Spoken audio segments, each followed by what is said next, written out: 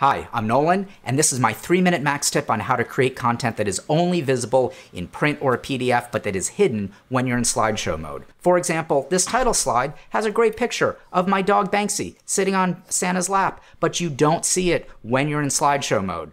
How do I use this elsewhere? Well, sometimes I have page numbers that I don't want to be show that I don't want to show on screen. The client insists on having it for printout or you know review purposes, which is fine, but I don't want to see those on screen because I just don't think they're necessary, and so I hide them whenever we're in slideshow mode. No page number, no page number. So how do I do this? Do you think it's some sort of animation trick? Well, let's go to the animation pane and we'll look at, nope, there's no animation on the slide. It's not an animation trick.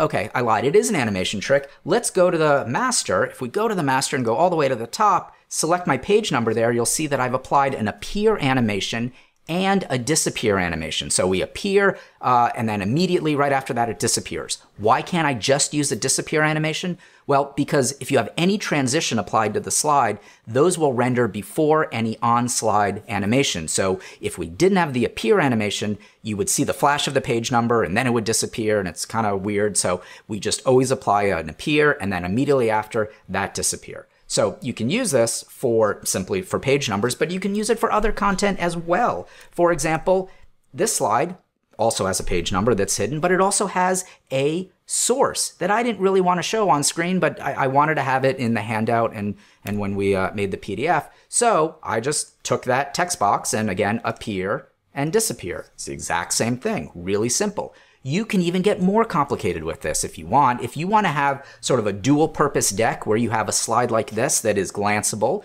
right? Can be read. That's a good on-screen, you know, amount of text. But when you hand it out, you want your speaker notes in it, you want more detailed information. You can do that simply by designing your slide like this, but also with your more detailed information down here. So in this case, we took this line and we took this uh, this text down here. And again, just on the slide, we applied an appear and a disappear animation. Really simple, right? Uh, really simple. There we go. So when we're in slideshow mode, you don't see all that information. And when, when we're not, you do.